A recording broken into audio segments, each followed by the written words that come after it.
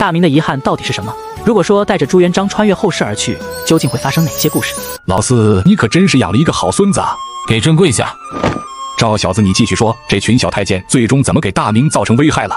其实，如果仅仅是教太监读书也就算了，可是这太监会读书写字了之后，等同于扫除了他们参政乱政的最后一道屏障。而偏偏你为了自己减轻压力，赋予了太监批红权，你用太监来制衡朝堂，因为你有威望、有手段，所以不管是太监还是朝臣，最终形成了平衡。而你的皇权永远凌驾他们之上。可惜你开了个头，而你的后代因为各种各样的原因，拥有了批红权的太监开始制霸朝堂。明朝后面可是出现了不少权力滔滔天的大太监，甚至连内阁老都需要看他们的脸色。其中一个更是被称九千九百岁。好狂妄的太监，跟咱不就只差一个名头了？老四，你今天别拦着咱，咱今天必须打死这个混账东西！老朱，你急什么啊？再好的政策也要看是谁去执行。不是我说，明朝后期有不少皇帝，单纯是个人能力出了问题，也不能全部怪在制度上。不是你小子，怎么还帮他说话呢？客观来说，这太监的批红权虽然是宣德皇帝赋予太监的，但那是因为宣德皇帝有能力、有把握控制住这帮宦官。后世对于宣德皇帝的功绩还是十分认可的，并且称呼他为六边形战士，认为宣德皇帝是个没有什么太大短板的皇帝。可惜在位十年便驾崩了。这是为何？詹基为什么会早逝？他的身体一向不错，而且朕从詹基幼年起便带在身边培养，在军中更是让詹基与将士们一起操练，他不该会英年早逝的。爷爷没事的，这一切不是还没有发生吗？就是啊，老四，咱跟赵小子既然来了，你有什么好担心的？你娘都能治好，高赤跟詹基也一定没有问题的。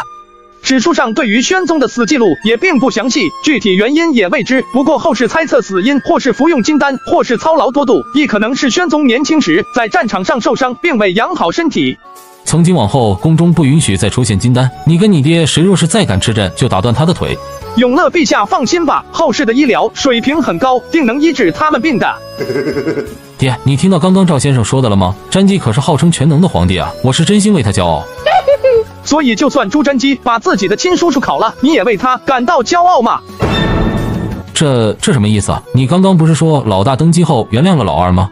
仁宗朱高炽是原谅了汉王，但是宣宗朱瞻基没有原谅啊。虽然其中也有汉王的咎由自取，不过汉王最终被朱瞻基用铜缸罩住，然后用炭火活活的烤死了。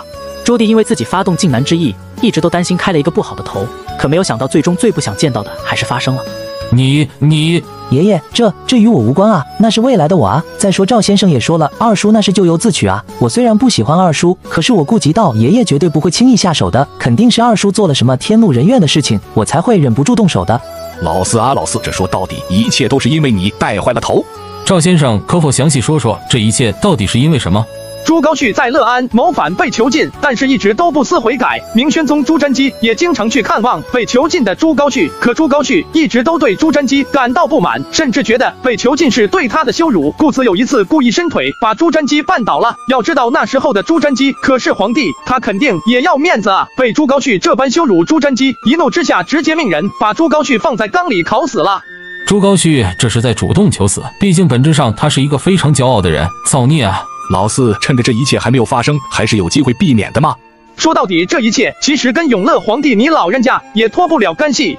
这跟我有什么关系？谁不知道我最不想看到的就是自家人流血。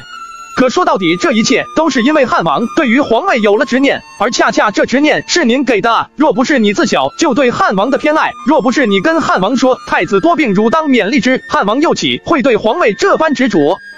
的确是我的错啊！可如今老二的野心已经起了，再想要压下去恐怕不容易啊！老二虽然惧我，可我多次警告老二，从没有放在心上。对于这件事情，我如今也是感到有些棘手啊！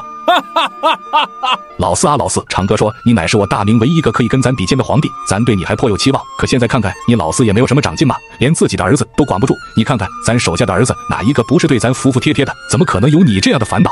爹当然是最厉害的，要不然怎么会我是儿子呢？嗯，这样吧，咱来帮你管教定能让他服服帖帖的。来人，去把老大、老二、老三叫过来。门外的侍卫第一时间就去把这三人传唤了过来。三人在大殿门口相遇，朱高煦大步走到朱高炽的面前，问道。老大，你知道咱爹召见我们是什么事情吗？难不成是关于北征的事情？应该不是吧？不过老二如今朝堂上都在反对北征，你想想办法劝劝咱爹。如今将士疲惫，国库空虚，并不是北征的好时候啊！况且咱爹那身体该好好的休养了。我凭什么帮你劝他？我自己都想领兵出征呢。